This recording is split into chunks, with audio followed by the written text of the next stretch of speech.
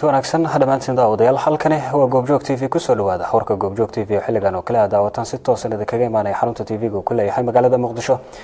Anigoo cabdifitaax axmed ayaa idinla socodsiin doona qodobadaad ku daawan doontaana waxaa ka mid a magaalada jabuuti oo maanta waa uu ka furmay shir lagu wada heshiiseynayo maamulada galmudug iyo ahlusunna waljamaaca dowladda finland oo sheegtay in dowladda soomaaliya ay ka taageerayso kaabayaasha dhaqaalaha guddiga amniga jubbaland oo kulan ku yeeshay magaalada kismaayo ee gobolka jubbada hoose oo ka hadlay sidii ciidanka maamulkaasi ay u qaadi lahaayeen howlgalka dhana al-shabaab wararka kale aad daawan doontaana waxaa ka mid ah iscasilaadii wasiirka cadaaladda bakistan oo soo abjirtay qalalaasaha dalkaasi iyo netanyahu oo ku hanjabay inuu duqeynayo suuriya haddii iiraan ay saldhigyo ay ka samaysato halkaasi. Qodobadaasi kuwa kale ayaad ku daawan doontaan. Warka goobjoog t v u diyaar garooba daawadayaal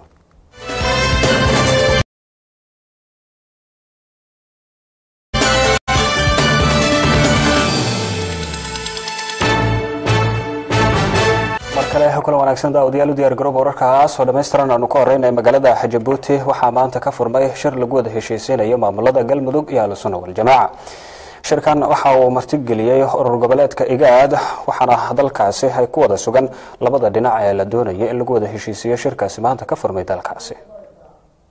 Shir gobol xaar u ah wadahadalka maamulka galmudug iyo ahlusunna ayaa maanta ka furmay waddanka jabuuti shirkan oo garwadeen ka yahay urur goboleedka igad ayaa lagu wadaa in labada dhinac ay isla gartaan inay wada hadlaan si looga gudbo khilaafka u dhexeeya labada dhinac. Shirkan ayaa waxaa ka qaybgelaya wafdiyo ay kala hogaaminayaan madaxweynaha galmudug iyo sidoo kale hogaamiyaha ahlusunna mas'uuliyiinta labada dhinac ayaa kulan is arag ah oo hordhac u ah shirkan gogolxaarka wadahadalka ayaa dhowaan ku dhex maray magaalada nairobi ee dalka kenya. Maamulka galmudug iyo ahlusunna ayaa khilaafkoodu soo bilaabmay markii la dhisay maamulka galmudug.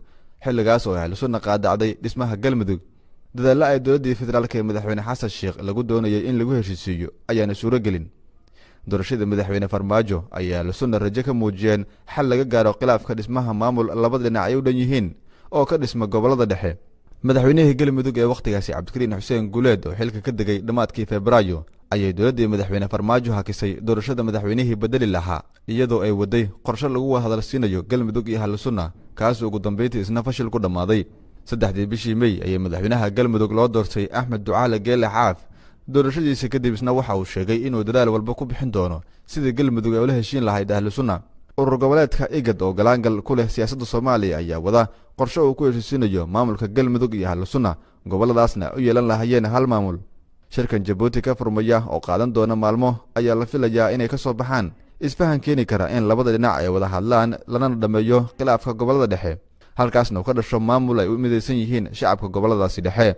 Maxamed cumar dhaqane goobjoog muqdisho weli warkii goobjoog t v ayaa daawanaysaan daawadayaal si toos idinkaga imaanaya muqdisho warbixino kale ayaa inoo soo socda balse markan qoysas hor leh oo ka soo cararay duqeymaha ka jira gobolkaasi shabeellada hoose ayaa ku biiray qoysas horey ugu sugnaa oo xaalad adag ay ku haysatay xeryaha ku yaalla degmada kaxda ee magaalada muqdisho. Dadkan ayaa sheegay in degmada kaxda ay yimaadeen iyada oo xaalad adag ay ku sugan yihiin kuwii iyaga ka soo horeeyay ee halkaasi ku sugnaa qoysas hor leh oo ka soo barakacay deegaano ka mid ah gobolka shabeellaha hoose oo dhowaan ay duqeymo ka dhaceen ayaa soo gaaray duleedka magaalada muqdisho kuwaasi oo xilligan aan haysan hooy ay ka galaan roobka iyo qoraxda. Sida maamulka degmada kaxda uu xaqiijiyey dadkan waxa ay ka kala yimaadeen deegaanada basra beriire iyo meelo kale oo ay dagaalo ka dhaceen. Qaar ka mid ah dadkan ayaan kula kulnay duleedka magaalada muqdisho oo qeyb ahaan ka mid ah degmada kaxda waxaana ay ka hadleen xaaladda noloshooda waa baabiceen. War haddaan beerna ma jirta haddaa roobka hooda da'ee haddana waa roob yar tahay. Waa baahanahay aniga meeshaasa ka soo barakac ma dhow. Saasay jirtay. Maadaama hadda wax dhisanayso maxaa hadda ma soo barakacay haddaana soo barakac haddaan. Noloshayda aan hadda wax biyi wax ka heesaday ma jirin haddaan la imid wax oo haddaan heesaday ma jirin abuu dabkayga saakaan ma nooleysanin saasaa jirta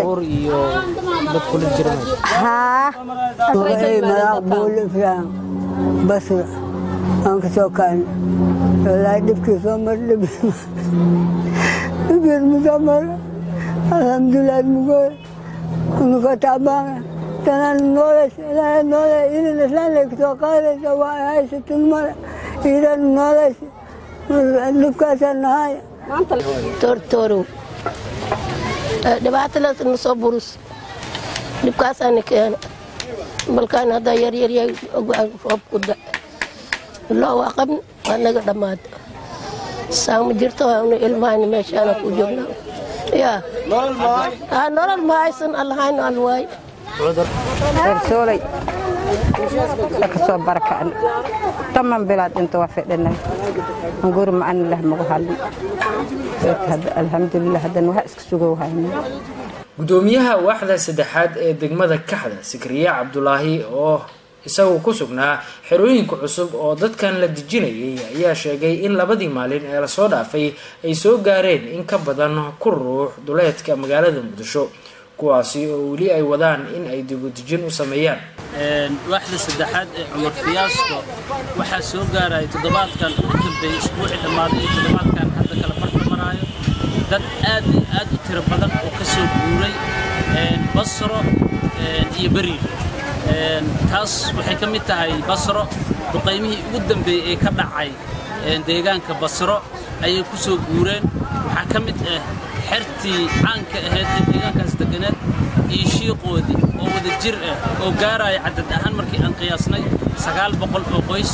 Halkan aa u jeedaan kaankan kaankasoole waxaa soo gaaray dad duleedka magaalada muqdisho waxaa ku nool qoysas aada u badan kuwaasi oo horey uga soo barakacay abaarta iyo kuwan cusub waxaana intoodaba ay hadda la kulmayaan xaalad adag oo dhanka nolosha cabdiwaan maxamed ibraahim goobjoog iminkana magaalada gaalkacyo maamulada puntland iyo galmudug ayaa ku guuleystay maanta inay dib u furaan suuqa magaalada gaalkacyo oo muddo saddex maalmood oo xirnaa colaad ka jirta magaaladaasi gaalkacyo ganacsatada suuqaasi magaalada gaalkacyo ayaa soo dhaweeyey furitaanka suuqaasi iyadoo saddexdii maalin ee la soo dhaafay uu hakad ku jiray isku socodka dhanka ganacsiga suuqa magaalada gaalkacyo kaasi oo ku xirmay isku hormaad dhex maray labada dhinac galmudug iyo puntland waxaana maanta lagu guulaystay inuu dib u furmo suuqa gaalkacyo islamarkaana si caadiya ay ku soo noqdaan ganacsiga suuqa. Maamulada gobolka iyo ka degmada galmudug iyo puntland ganacsatada ayaa booqday goobaha ku xirmay colaada gaalkacyo waxaana lagu guulaystay in la qaado caraturyo ay dhigeen labada dhinac mas'uuliyiinta labada dhinac galmudug iyo puntland ayaa si rasmiya u sheegay inay kala qaadeen ciidankii haddana uu shaqaynayo suuqa magaalada gaalkacyo. Maxamuud yaasiin tumey duuqa degmada gaalkacyo iyo puntland iyo sidoo kalete xirsi yuusuf barre duuqa degmada gaalkacyo ee galmudug ayaa ugu horreyn sheegay. Saddex qodob baanu intii hawshaani socotay isla garannay. Waxaa la yidhi horta geed hoostiis aanu isugu tagnaa la yidhi aanu geed hoostis isugu tagnaa la yidhi oo guriga ka soo baxno. Waa qodob geed hoostiisaan isla aaday intaan ka baxnay guryihii shalay. In meeshaan wanaag ka soo socda waxaan ku garannay. Hadalkii markii lagu heshiiyey naacaw galangalaanna qaaday. Ragga qaar ba waxay dhaheen shuushkii baa baxay. Waxa ku xigay roob baa ku xigay. Dembigii baa dhaqmay. Aanu isu dulqaadanno ganacsatadu waxay ahaan jirtay. Dhibkaan markuu dhaco dadkii lagu soo cararayey dhabarka isu jeedin jireenoo qofna cadowgaas ku difaaci jiray midna cadowgaas ka difaaci jiray. Hadday iyagii dhibtii soo gaaray waa nasiib darro weeye laakiin dee fidmadu haddii aadan demin oo ay dhinacaa ka socoto ama dhinacaa ka socoto adigu aadan demin waa ku soo gaaraysa xaqiiqdii. Ganacsatadu iyagaa dhaqaalihii haysa dadkan iyagaa isugu dhow waxaa la rabaa fidmada ama magaalada ama geesyada ka socota dadka ugu horreeya wax ka deminaya inay noqoto. Haddaydan wax ka demin wax ogaataan idin soo gaara maanta idin soo gaartay. Maantay waxaan u malaynayaa shalay iyo maantay waan kala niyad fiicannahay waxoogaa meeshii aan shalay joognay iyo meeshaan maanta joogno ilaahayna waxaan ka rajaynayaa inaan meel ka sii wanaagsan u gudubno waxaan rabaa inaan meeshaan ka caddeeyo waxaan halkan u nimid saddex qodob in ciidamada la kala qaado in ciidda la kala guro in ganacsiga dib loo furo. Saddexdiiba ciiddiina waa la kala qaaday. Ciidamadiina wixii baqarada waardiyahooda ah maana wixii kale waa la qaaday. Ganacsiguna hadda ka bacdi waa furan yahay nin waliba ha ganacsado waxaan rabnaa inay maskaxdu shaqayso in wixii idin dhex yaalla oona dhex yaalla aannu ku dhammaysanno wada hadal hadda ka hor waxaa la dhihi jiray maamulada dagaalada wada guddoomiyaalkaa isku dhaaran jiray madaxweyneyaalkaa isku bootayn jiray. Hadda way soo dhammaatay soo maaha? Hadda meesha si dagaal lagama dhammayn kari maya macnaheedu? Haddii aad madaxdii iyo maamulladii heshiiyeen marna miyigaa dagaalku ka qarxayaa marna ganacsatadii ah meeshii ugu roonaydoo maaragtay oo laysugu imaan jiray markii carada kale nabadi ka dhacdo ba haddana dagaalka ka dhacay qaar ka mid ah ganacsatada magaalada gaalkacyo galmudug puntland ayaa iyaguna soo dhoweeyey in dib loo furo suuqa magaalada gaalkacyo. Bismillahi raxmaan raxiim walaalayaal waan anigu ku hadlahaya afka ganacsatada galmudug nabadda. Waa soo dhowaynaynaa waxa dantu ay noogu jirtaa waa nabadda. Qoraxda waxaan u taagannahay waa nabadda. Bulshada deegaanka deegaamada ku nool dhammaantood waxa ay danaynayaan waa nabadda waxay dantooda u soo layaceen oo qof walba uu dantiisa uun intuu meel ku soo xiro u soo tegey waa nabadda waxaan rabnaa waa soo dhowaynaynaa nabadda ayadaan dani noogu jirtaa. Waxaan ku hadlayaa ganacsatada puntland magaceeda. Allah subxaana wa tacaala baa mahad iska leh. Ma ay ahayn maanta annaga ganacsataa in la isugu kaaya yimaado dadweynow labadiinna dhanba raalligelin baan ka bixinaynaa. Maanta inaad annaga isugu kaaya timaadaan. Aad baan uga xunnahay. Wixii waddanka ka dhici jiray iyadoo aan ahaan jiray dadka xalliyo oo gacanta ku qabta meel kastoo dagaal ka dhacayo haddana maanta in annaga nalaku isugu kaaya yimaado caarun calayna. Waa wax annaga sharaf darran noo ah. Cali nurcayn goobjoog t v gaalkacyo iminkana magaalada kismaayo guddiga amniga ee maamulkaasi jubbaland ayaa kulan ay ku yeesheen magaalada kismaayo. Waxa ay kaga hadleen sidii loo dardargelin lahaa in ciidanka waa maamulkaasi jubbaland ay u qaadi lahaayeen howlgal ka dhan al-shabaab. Arrimaha miisaaniyadda ayaa sidoo kale lagu soo hadal qaada kulankaasi si loo dardargeliyo howlgalladaasi ay fulinayeen ciidanka maamulkaasi jubbaland ee ka dhanka ah al-shabaabka ku sugan deegaanada maamulkaasi madaxweynaha dowlad goboleedka jubbaland mudane axmed maxamed islaam ayaa shir guddoomiyey kulankii ugu horreeyey ee golaha amniga heer dowlad goboleed kaas oo ka farcamay golaha amniga qaranka. Xaaladda amniga deegaanada jubbaland iyo abaabulka ciidamada ayaa ka mid ahaa qodobadii kulanka looga hadlay. Xubnaha guluhu uu ka kooban yahay ayuu madaxweynuhu ka dhageystay xog aruurin iyo tixraac ay maalmahan wadeen oo la xidhiidha tayada iyo tirada ciidamada iyadoo la qorshaynayo in dagaal lala galo ururka al-shabaab. Dhaqaalaha deegaanada jubbaland ayaa la ysku raacay in la mideeyo islamarkaana miisaaniyad kordhin la sameeyo muddada loo diyaargaroobayo howlgallada la qorsheeyey si joogto uu u noqdo mushaarka ciidanka iyo saadka ay u baahan yihiin. Wasiirka wasaaradda madaxtooyada jubbaland cabdiqani cabdi jaamac ayaa warbaahinta la hadlay markii shirku soo idlaaday xarunta kumeelgaarka ee dowlad goboleedka jubbaland xarunta madaxtooyada ku qabsoomay shirkii u horreeyey ee golaha amniga ee dowlad goboleedka jubbaland waxaa laga hadlay ilaa lix qodob oo ah ugu horrayn amniga qorshaha dawliga ah ee jira maxaa la damacsan yahay maxaynu saynu uga diyaargarownaa maxaa cilladee jira. Waxaa sidoo kale iyana laga hadlay qaybta kaga aadan dakhliga sidaynu kordhin lahayn dakhliga gaar ahaan sidaynu isugu tashan lahayn. Wax soo saarkeenu kordhin lahayn dakhliga loo kordhin lahaa cashuurta sidii rasmiga loo qaadi lahaa musuq maasuqa loo yareyn lahaa nidaam nidaamka dowlad wanaagga loo keeni lahaa. Waxaa iyana la xidhiidha qaabka arrimaha bulshada sida dadka loo abaabuli lahaa oo dhammaantood amniga wada imanaya. Waxaa iyana ugu dambayn ku jirta arrimaha garsoorka oo ah in la dhammaystiro dhammaan dhismayaasha maxkamadaha iyo garsoorka dowlad goboleedka jubbaland ilaa heer degmo ilaa heer tuulo si uu noqdo mid taabagal ah oo nidaamka amniga qayb ka qaata marka guud ahaan arrintaas ku saabsanaa waxaa laysla soo qaaday qodobo badan oo si dheer looga wada hadlay. Waxaa ka mid ah xaaladda guud ee amniga ee hadda jirta howlgallada inoo qorshaysan iyo sida loo howlgeli karo. Shirka amniga qaranka oo dhowaan ka dhacaya magaalada muqdisho ayay jubbaland la tegi doontaa qorshe dhammaystiran oo la xidhiidha sida ay noqonayaan howlgallada la doonayo in lagula dagaalamo ururka al-shabaab. Bashiir maxamed daahir goobjoog kismaayo weli warkii goobjoog t v ayaa daawanaysaan daawadayaal warar kale ayaa inoo soo socda. Balse iminka guddiga gurmadka qaran ayaa maanta deeq lacaga guddoonsiiyey lixdan qoys oo waxyeelo ay ka soo gaartay qaraxii ka dhacay hotelka naasa hablood labo ee magaalada muqdisho. Guddiga ayaa maalmahanba waxay ku howlanaayeen sidii loo kaabi lahaa qoysaska oo waxyeeladu ay ka soo gaartay qaraxyadii ka dhacay isgoyska soobe iyo sidoo kale hotelkaasi naasa hablood labo ee magaalada muqdisho lixdan qoys oo eheladoodu ay ku waxyeeloobeen qarax kii bishan ka dhacay hotelka naasa hablood laba ee degmada xamarweyne ayaa maanta halkan deeq lacageed loogu qaybiyey waxaana gargaarkaas fidinaya guddiga gurmad qaran oo maalmihii la soo dhaafay ku howlanaa taakulaynta dadka soomaaliyeed ee waxyeellada uu geystay qaraxii oktoobar iyo sidoo kale qaraxii xigay kii oktoobar ka dhacay hotelka naasa hablood laba ee magaalada muqdisho. Sidoo kale carruurta maanta waxa la siiyey tiri ahaan waxay gaarayaan oo ay ka soo ama tiri ahaan ay yihiin iyo laba carruur ah oo si gaar ah saamayn uu ugu yeeshay qaraxii labaatankii bishan ka dhacay hotelka naasahablood laba ee magaalada muqdisho. Maxamed yuusuf tigay guddoomiye ku-xigeenka guddiga gurmad qaran ayaa si kooban waxa uu uga warramayaa tirada dadka wax la siinayo iyo sidoo kale cidda bixisay deeqdan. Maanta gunti tahay bisha waxaan dhimasho iyo dhaawac qoys lixdan qof oo ka mida dadkii dhimashada iyo dhaawaca halkan ahaa aan siinaynaa deeqdii ummadda soomaaliyeed u soo goordhay wixii alla ka awoodale ka ogolaado iyo sidoo kale agoon gaaraysa laba boqol iyo afartan iyo afar agoona waxaan leenahay intaynay dhimatayna allaha u naxariisto inta dhaawacantayna allaha u booga dhigo. Shalay waxay ahayd dhibaataayna ku dhacday. Maanta gurmad baa inoo yimid ummadda soomaaliyeed baa soo gurmatay. Waxaynu rabnaa berrina inaynu u istaagno dhammaanteen.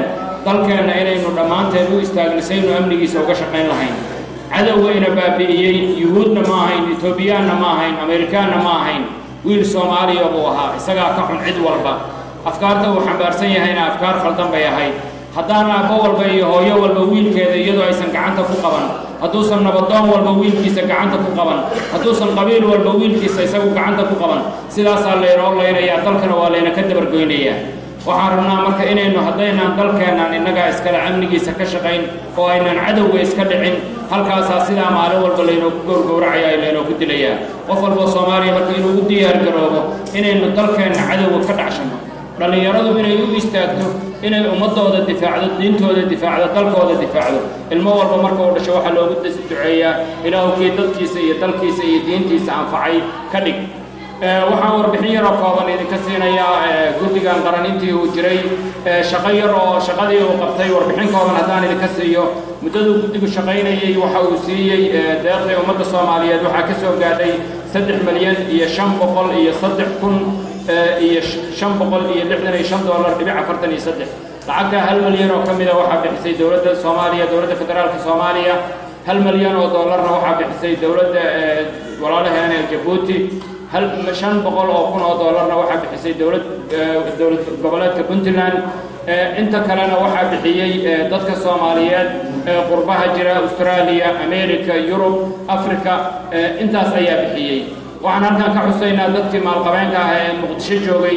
Dadka wax ka bixiyey inay ugu horeeyaan shirkadda dahabshiil shirkadda beeko ee korontada iyo shirkadda amal sidoo kale waxaa bixiyey gabdhaha baarlamaanka labada gole ee soomaaliyeed shaqaalaha rayidka garsoorka soomaaliyeed ciidanka asluubta soomaaliyeed guddiga taakulaynta wacyigelinta iyo taakulaynta ciidamada wasaaradda dekedaha oo wakiil ka ahayd dad soomaaliyeed wasaaradda dhallinyarada iyo isboortiga oo dad soomaaliyeed wakiil ka ahaa shirkadaha ka shaqeeya cleananiska waa mukhallasiinta shirkadaha dekeda wax ka rara iyo iyagoo intaasoo bixiyey.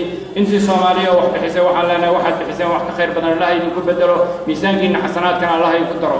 Maanta qof walboo soomaaliya waxaa rabaa meel buu ku qormayaa qofkii ummadda soomaaliya maanta wax tara meel buu ku qormayaa taariikhduna waa xusaysaa qofkii ummadda soomaaliyeed maanta hagrada ee ka haraana waxa weeye wuxuu noqon doonaa mid ummadda soomaaliyeed ka haray ayuu noqonaya hay'adda migrationka ayaa ka mid ahay dadkii shaqaalaha migrationka ayaa ka mid ahaa dadkii soomaaliyeed ee wax ku bixiyey guud ahaan shirkad guddigu waxa uu bixiyey siddeed boqol iyo toddobaatan iyo afar agoona ayuu siiyey. Agoon walba bishii konton dollar lix bilood oo saddex boqol oo dollar ah. Boqol iyo afartan iyo sagaal dhaawac oo saddex boqol oo dollar intooda badan la siiyey. Ay jiraan sidoo kale dhaawacyo. Dhaawacii loo diray dalka suudaan oo kale oo konton kun oo dollar loo diray dhaawacyo kala duwan oo dalka laga qaban waaye wax laga qaban waayey oo ilaa soddon kun oo dollar guddigu ku bixiyey. Sidoo kale guddigu waxa uu u sidoo kale uu kaalmeeyey oo noloshoodii dib uga abuuray. Boqol iyo soddon qoys oo ahaa dadkii boqol iyo soddon iyo kow qoys oo ah dadkii waratada ahaa ee suuqa soobe ku waxyeeloobay oo noloshoodii dib loo abuuray. Siddeed iyo labaatankii bishii oktoobar qarax xooggan ayaa ka dhacay hotelka naasaha bloodlaba ee magaalada muqdisho inta xilligaas la xaqiijiyey waxaa geeriyootay toban ruux tiro. Intaa ka badanna waa ay ku dhaawacantay. Iyadoo taa laga duulayo iyo waxyeellada qaraxa u geystay ayaa maanta guddiga gurmad qaran. Waxa uu halkan qoysas uu waxyeello u geystay qaraxii halkan ka dhacay ay ugu qaybiyeen gurmad lacageed. Calaadan muumin goobjoog muqdisho.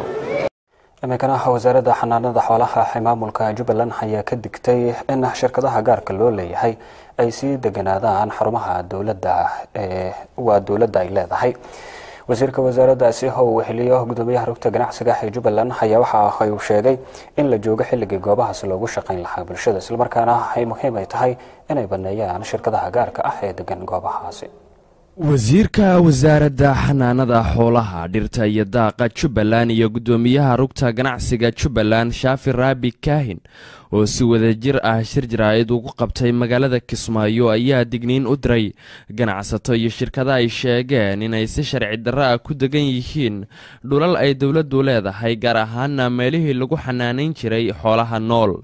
Waxaanay sheegeen in haddii durba ay ka guuri waayaan ay ka qaadi doonaan tallaabo. Waxaa soo baxay ama keenay shirkan jaraa'idinaan qaban.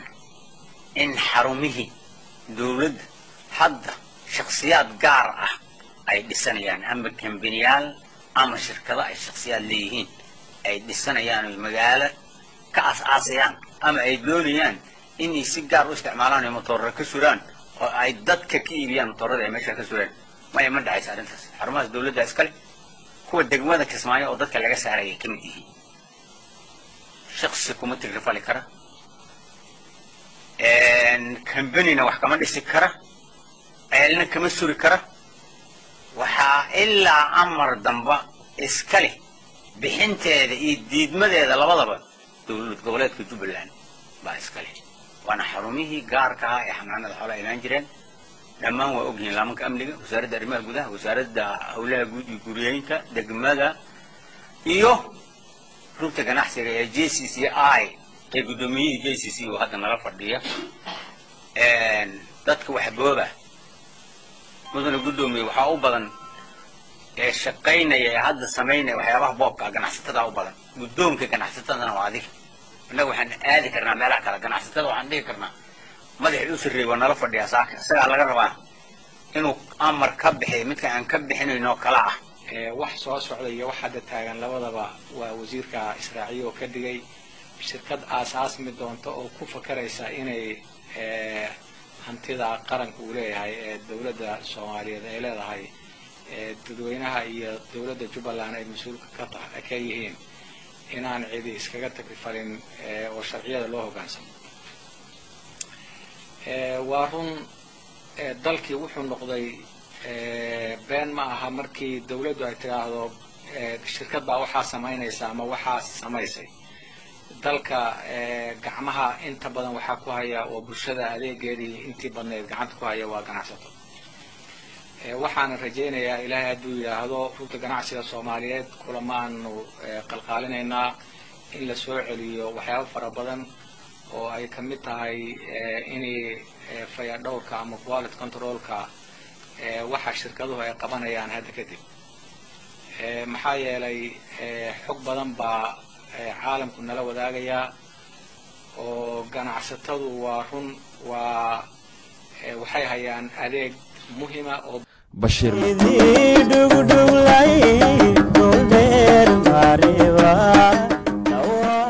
dhegaysiga sugaanta oo ay heesu ugu horeeyaan cumar ahaan waxaan ka mid ahay dadka ku wada daashada balse aan kuu sheego nooca aan jeclahay.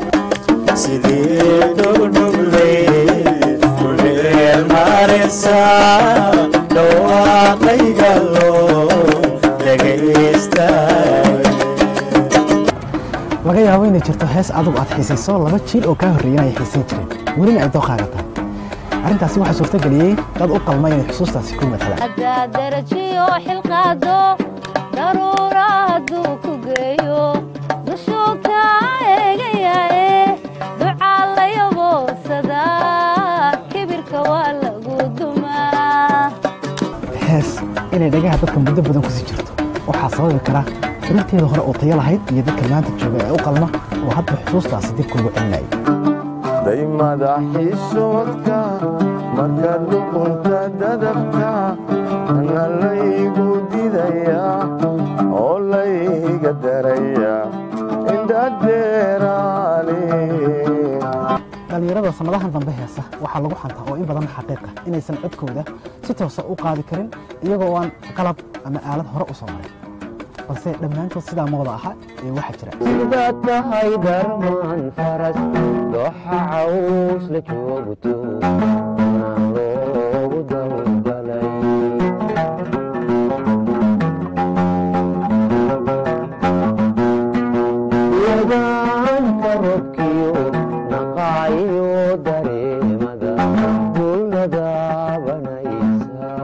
barnaamijka murti iyo maawale ee ka baxa telefishinka goobjoog waxaa ka go'an soo noolaynta fankii hore iyo tayeynta fanka maanta. Xusuusta heesahaasi iyo kuwo kaloo xiise leh kala soco goobjoog.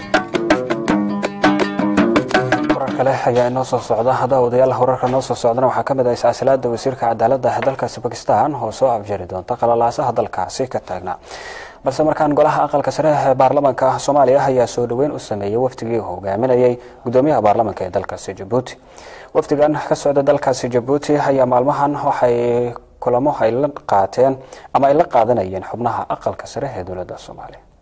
Gudoomiyaha baarlamaanka dalka jabuuti ayaa habeennimadii xalay munaasabad soo dhoweyna waxaa markaa lagu sameeyey xarunta golaha aqalka sare ee dalka halkaasoo hadalla ay ka jeediyeen mas'uuliyiinta ugu sarreysa baarlamaanka dowladda federaalka.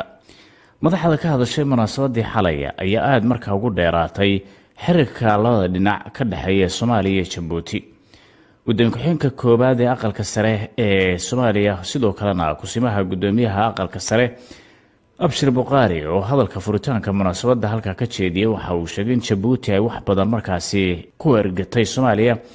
Jamhuuriyadda soomaaliya iyo jamhuuriyadda jabuuti waa laba dal oo wadaaga dhiig iyo dhul iskagana dhow waddamada kale ee geeska afrika iyo kuwa caalamkaba. Mudane guddoomiye waa laba dal oo hiil shuruud la'aan ah isku haya oo mar walba isku tusaaleeya wanaagga iyo horumarka iyo nabadda. Waxaa tusaale inoogu filan taageerada ay jamhuuriyadda soomaaliya la garab taagnayd xornimo udirirkii waddanka jabuuti ee markii markaas loo yaqiinay soomaalida faransiiska iyadoo ku bixisay taageero siyaasadeed iyo mid dhaqaale. Mudane guddoomiye si la mida sidaas ayay jabuuti u garab istaagtay jamhuuriyadda soomaaliya xilliyadii dagaalka sokeeye iyadoo dadaal xooggan oo aad u badan ku bixisay dib u heshiisiinta soomaaliya iyo dadka soomaaliyeed iyo dib u yegleelidda dowladnimada soomaaliya mudane guddoomiye si isuhiilintaas u socoto la kaashado dhinac walba. Waxaa laga maarmaan ah in hay'adaha isu dhigma gaar ahaan golayaasha sharci dejinta yeeshaan wada shaqayn iyo iskaashi fududayn kara. In hay'ad waliba u gudato xilkeeda si waxtar leh si loo hormariyo dadyooga walaalaha ah ee labada dal. Si wadajir ahna uga qayb qaataan horumarinta xaaladaha dhaqandhaqaale ee dadyooga geeska afrika ku nool. Waxaan ku han weynahay in imaanshahaaga caasimadda muqdisho adiga iyo wafdigaaga uu bilow u noqon doono unkumidda xidhiirkaas aan kor ku soo sheegnay iyo berisamaad u bariyey golayaasha baarlamaanka labada jamhuuriyadood. Gudoomiyaha golaha shacabka oo isna halkaa hadal ka jeediyay waxa uu markaa sheegay sida daalla-aanta oo ay dowladda jabuuti soomaaliya u garab istaagtay xilli aada markaa loogu baahra jawaari waxa uu xusay marihii markaa ka dhashay shirkii cartay inay maanta harsanayaan. Caawa waxaad joogtaa aqalkii sare ee baarlamaanka federaalka soomaaliya. Aqalkan sare aad u jeeddo iyo golihii shacbiga aad shalay joogtay dhammaantooda asalkoodii isirkooda iyo guldhigga ay ka soo tarmeen waa carta. Marka tacabkii iyo xooggii iyo dadaalkii iyo dulqaadkii iyo adkaysigii aad geliseen dhismaha dib u soo noolaynta dowladnimada soomaaliyeed tacabkiinna waa barakoobay waa laga faa'iiday. Caawana waxaad goobjoog u tahay aad markhaatina ka tahay in tacabkii iyo hawshii ay sameey ay qabteen reer jabuuti uu laga faa'iiday saldhiggii dowladdana ay ku dhisan tahay maanta labada baarlamaan ugu dambeyntiina waxaa lagu soo dhoweeyey hadalka guddoomiyaha baarlamaanka jabuuti maxamed cali xumud oo sheegay xiriirka ka dhexeeya soomaaliya iyo jabuuti inuu yahay mid ku dhisan walaalnimo isagoo soomaalidan ugu baaqay walaalnimadu inay adkeeyaan. Imaya womaryaabad xabemali asaa kutugaxtikii nanolena nohnanimi ninni baadhooy iyaanam aytisirikahay waadhayna lamahag waxaaban u soo kacayba hadalku labada guddoomiye way dhammeeyeene inaan nigu adkeeyo inaan joogo dhulkaygii aqalkaygii aan la joogona dadkaygii buu yidhi. To wacdinaa abaadhuu kadhabaadhu sugtibaadhooy udhih kadhabaadhuhtanii tet marii abaadholyonoonu awainablehnanimii soomaali dhayloo teetii caalamal tanim teetii away soomaalii habbootan hinaa caalam habbootan gabatadh soomaali ummata wuxuu yidhi dhulkan waa dhul weyn buu haa uuna yahay iminkana waxaan dareemay ni sheegayaa buu yidhi sidiisii inuu ku noqon doono maxaa yeelay buu yidhi adduunka maanta soomaali meel laga waayo ma jiro hadday dibadda joogaanna waddankooda ay dhigta ku hayaan. Oga sidaa baan anigu arkay intaana waa nii sheegayaa buu yidhi. Iminkana daawadayaal kaaba qabiil ayaa lagu soo qabtay. Dagaal waa xoogan oo ka dhacay gobolkaasi daarfuur afhayeenka ciidamada gargaarka degdega ah ee hoostaga ciidamada dalkaasi suudaan korneel cabdiraxmaan al jacali ayaa sheegay in la soo xiray muuse hilaal oo kaaba qabiilka ahaa gobolka mustariixa ee waqooyiga daafuur kadib dagaal adag oo ay ku dhinteen tiro ka tirsan ciidamada suudaan afhayeenka waxaa intaas ugu diray muuse hilaal loo gudbin doono magaalada khartuum saacadaha soo socda. Golaha ammaanka ee qaramada midoobay ayaa labada kun iyo lixdii cunaqabatayn dhanka safarka ah ku soo rogay muuse hilaal iyo saddex kale iyadoona dowladda maraykanka iyo ururada u dooda xuquuqda aadanaha ay ku eedeeyeen. Inuu hogaaminayo maleeshiyaadka janjawiid ee ku eedeysan dembiya dagaal inay ka geyseen ama ay ka geysanayeen gobolkaasi darfuur balse dowladda suudaan ayaa dhowr jeeroo horey u diiday eedeymaha loo soo jeediyey muuse hilaal iyadoona madaxweyne cumar albashiir uu labadii kun iyo sideedii u magacaabay muuse inuu la taliyo u noqdo wasiirka arrimaha ee federaalka. Dowladda suudaan ayaa bishii agooste uu ugu baaqday shacabka haysta hubka iyo gawaaridaba aan sharciyeysnayn in sida ugu dhaqsiyaha badan ay u geeyaan. Xarunta ugu dhow ee ciidamada iyo boolisku ay ku leeyihiin waqooyiga daarfuur ugu dambeyna iscasilaada wasiirka cadaaladda ee dalkaasi bakistan ayaa soo afjari doonta qalalaasaha dalkaasi wasiirka cadaaladda ee dalkaasi bakistan saahid xamid ayaa xilka iska casilay. Maanta kadib mudaharaadyo rabshado wato oo toddobaadyadii la soo dhaafay kala xiray isku socodka magaalada islaamabad.